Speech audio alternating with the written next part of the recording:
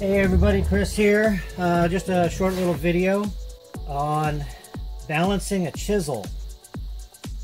What I what I have here is a Lie-Nielsen chisel that I use to notch hickory.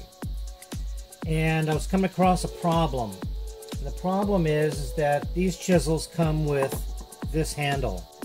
So just enough to put your hand on. That um, it just seemed like there just wasn't enough mass or leverage behind it. So I wanted to try making a larger handle. And when I made this handle, it was actually about here. And then it became obvious right away that, you know, with the extra long handle, this always wants to just pop up. So it just felt unbalanced, it didn't feel right. So how you want to balance a chisel handle is I took just the chisel part and put it on my gram scale. And this turned out to be like 93 grams. And then I made, when I made my handle, I kept reducing the size and length of it until I came down to this size. And I came down to this size because I'm about 10 grams lighter than the metal part.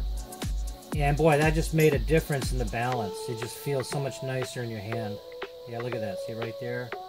So now where I'm grabbing, the chisel always wants to stay connected to the wood. Alright, hopefully that helps. Thanks for watching.